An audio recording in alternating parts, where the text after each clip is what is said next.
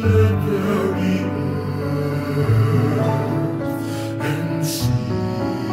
ngayon po ang uh, 8th anniversary ng Laudato Si. Laudato Si was around since 2015. Ito ay tumutukoy sa uh, pagtataguyod ng simbahan patungkol sa pangalaga ng ating common home.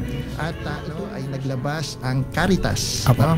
ng uh, actually not the Caritas but the Laudato Si Movement Philippines I should uh-huh. say ng isang video na ang title ay The Letter okay. ano at ito po ay isang panawagan ng buong simbahan na it actually and if, if there are more informations ano yan ay uh, watch out for the schedules ng aming mga Laudato Si orientations and if you think your parish or community needs the Laudato Si orientation, feel free to uh, contact me you know, yes. as the director of the Archdiocesan Ministry.